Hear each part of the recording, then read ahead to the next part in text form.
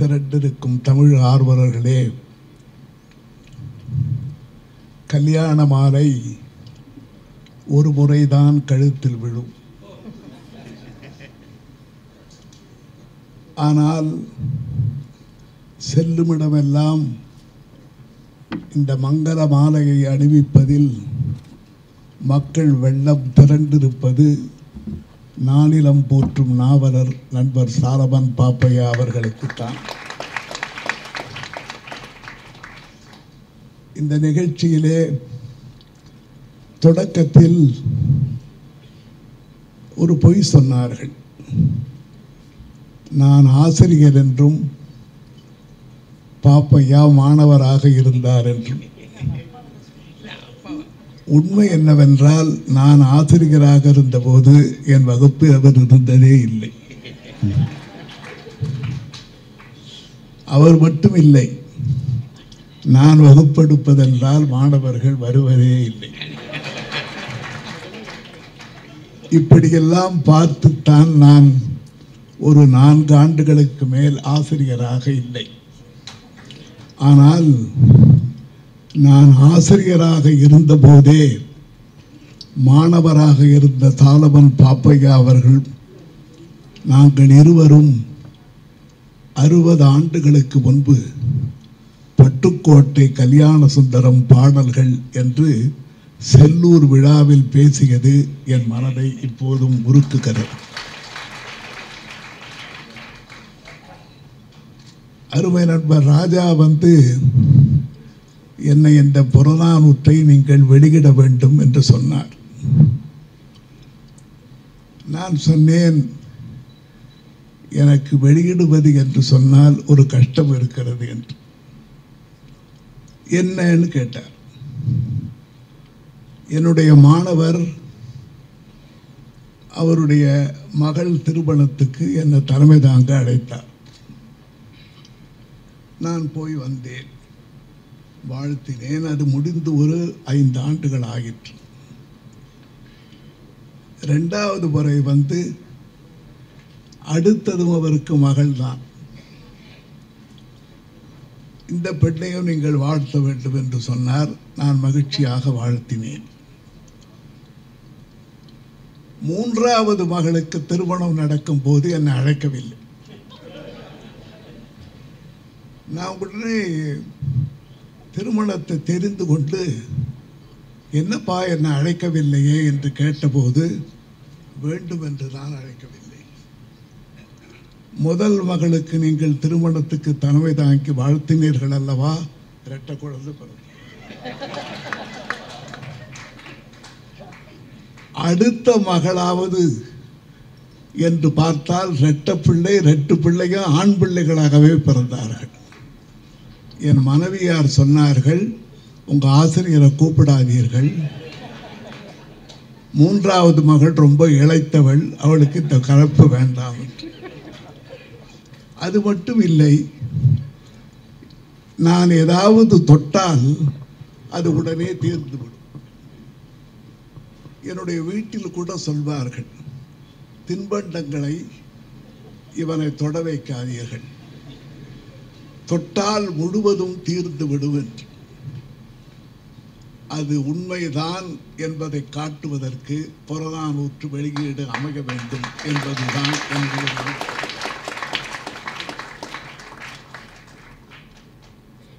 அறிஞர் சாலமன் பாப்பையா சாலமன் என்று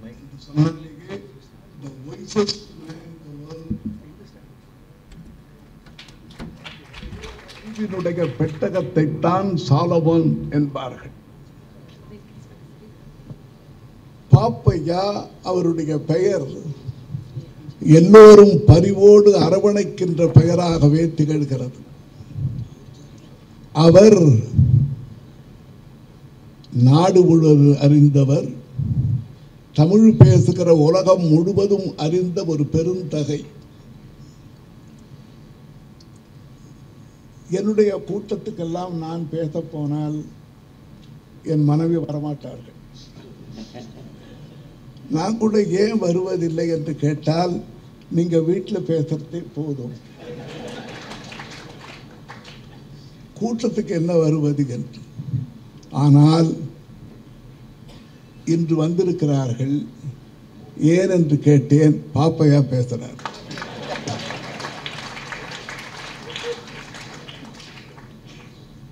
அவரை தொலைக்காட்சியில் பார்த்தாலும் கூட அவர் பேச்சை கேட்க வேண்டும் என்கிற விருப்பத்திற்காக தமிழ்நாட்டு மக்கள் இல்லந்தோறும் உள்ளந்தோறும் உங்களை போட்டிக் கொண்டிருக்கிறார்கள். புறநானூறு அவர் திருக்குறள் விளக்கம் தந்திருக்கிறார். நீதி நூல்கள் எல்லாவற்றையும் தேர்ந்தெடுத்த பாடல்களுக்கு ஒரு திறனாய்வு செய்திருக்கிறார். புறநானூறு இலக்கிய புதையல். அது ஒரு நானூறு பாடல்களை கொண்டது என்றாலும் நூற்றி இருபத்தைந்து ஆண்டுகளுக்கு முன்பு இது வெளியிடப்பட்டது. ஆயிரத்தி எண்ணூற்றி தொண்ணூத்தி நான்கு. வெளியிட்ட போது தமிழ்கடல் ஓவேசா அவர்கள் அந்த முதற் பதிப்பில் ஆசிரியப்பா ஒன்று எழுதியிருக்கிறார். கற்பனை செய்ய முடியாத ஆசிரியப்பா புறநானூற்று நானூறு பாடல்களையும் தொகுத்து சாராக பிழிந்து புறப்பாட்டின் திறப்பாட்டினை முழுதும் சொல்ல வல்லேன் அல்லேன் யான்னு முடித்திருக்கிறார். நான் சொல்ல வல்லேன் அல்லேன். புறநானூற்றினுடைய நானூறு பாடல்களையும் பொழிந்து ஒரு முப்பத்தி ஓரு வரிகளில் பாடியிருக்கிறார். அவர்கள் சொன்னார்களே டாக்டர் ஜியு போ. எழுபத்தி ஓரு பாடல்களை மொழிபெயர்த்து ஆண்டுதோறும் முதல் நாளன்று உவேசாவுக்கு அனுப்புவார்.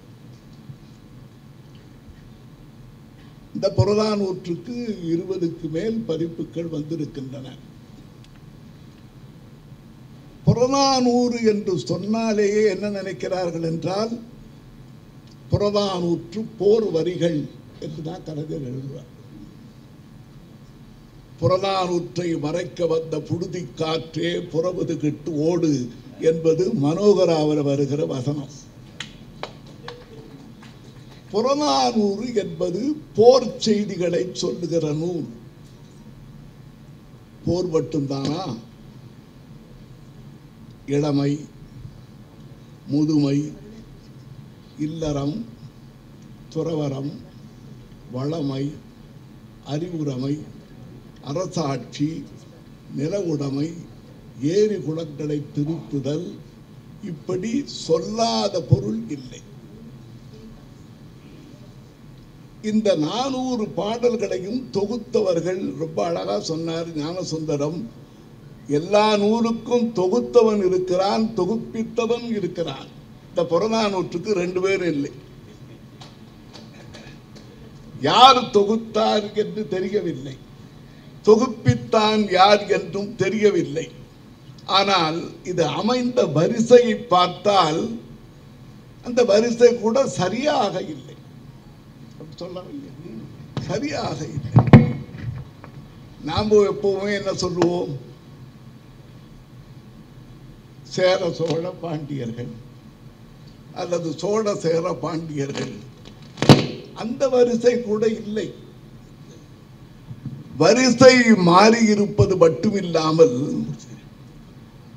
வேந்தர்களை பற்றி ஒரு எண்பது பாடல்கள் குறுநில மன்னர்களை பற்றிய பாடல்கள் பிறகு நிலக்கிடார்களை பற்றிய பாடல்கள் பிறகு பொதுவான பாடல்கள். போர்க்காட்சிகளை காட்டுவது மட்டுமில்லாமல் போரினால் ஏற்பட்ட துன்பங்களையும் எடுத்து காட்டியிருக்கிறார் பெண்கள் வருந்துகிற வருத்தம் அவர்களுடைய உருக்கம் கைமையினுடைய கொடுமை இப்படி ஒரு தமிழகத்தினுடைய வாழ்வு முழுவதையும் வரைந்து காட்டிய நூல் புறதாகும் இந்த புறநானூற்றுக்கு பழைய உரை ஒன்று இருந்தது பிறகு உரைகளும் எழுதினார்கள். உரைகள் எழுதியவர்களுக்கும் ஒவ்வொரு உரைக்கும் உரை வேறுபாடு உண்டு. ஒன்று சொல்ல விரும்புகிறேன். ஒரு வேந்தன் மகப்பேற்றை பற்றி பாடுகிறான். பிள்ளை பருவத்தை பற்றி. படைப்பு பரபடைத்தும் பலரோடு உண்ணும் உடைப்பெறும் செல்வராயினும் இடைப்பட குறுகுறு நடந்து சிறுகை நீட்டி இட்டும் தொட்டும் கவ்வியும் துழந்தும் நெய்யுடை அடிசில் மெய்பட விதற்கும் மயக்குறு மக்களை இல்லோர்க்கு பயக்குறை இல்லை தாம் வாழு நாளே. இது ஒரு வேந்தன் பாடியது. இந்த வேந்தன் பாடியதுக்கு எப்படி உரை எழுதினார்கள் என்றால் பல ஆண்டுகள் மகப்பேரின்றி வருந்தியதால் இவன் பாடியது. அது எழுதினவர் அப்படி இருந்திருக்கிறார்.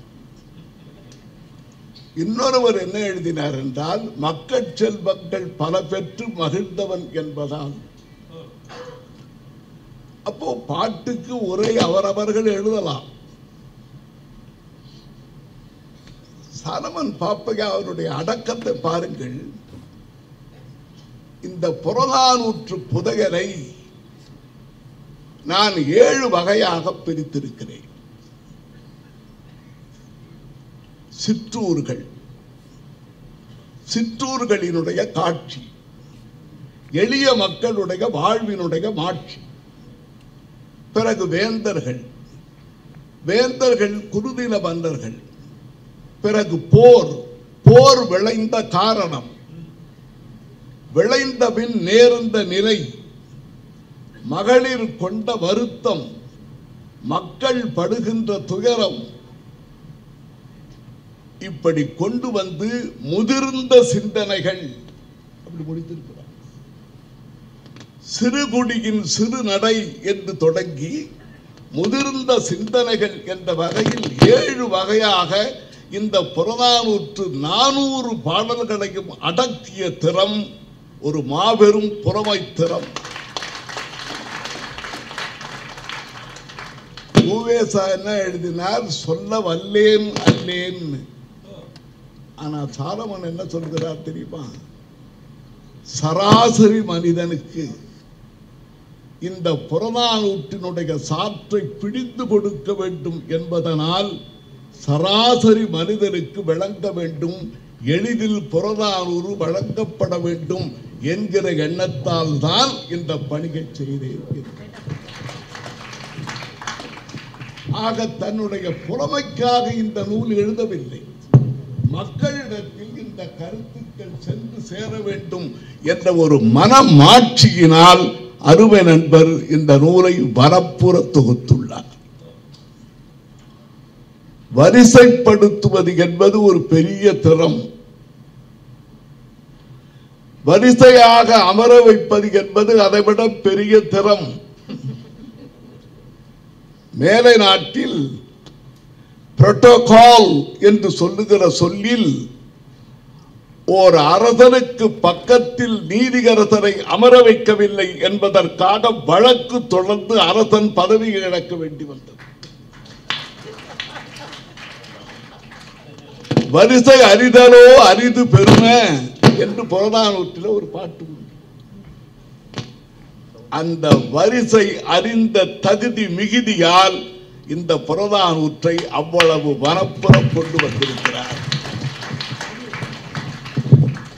இந்த ஆண்டு எனக்கு மகிழ்ச்சியான ஆண்டு. காரணம் என்னுடைய தந்தையாரும் புறநானூற்றுக்கு உரை எழுதியவர். அந்த தந்தை வழி உறவினாலும் கல்லூரியில் பயின்றவர் என்ற உறவினாலும் உலகமெல்லாம் தொழுது பாராட்டுகின்ற புகழ் உடையவர் என்கிற பெருமிதத்தாலும் இந்த புறநானூறு தொள்ளாயிரத்தி எண்பத்தி ஆறுன்னு சொல்றார் ராஜா ஆயிரம் பக்கம் வைத்துக்கொள்ளலாம் ஆயிரம் பக்கங்களுக்கு இந்த அழகிய பதிப்பை கொண்டு வந்தவர் என்னுடைய இனிய நண்பர் கவிதா சுக்கலிங்கம்.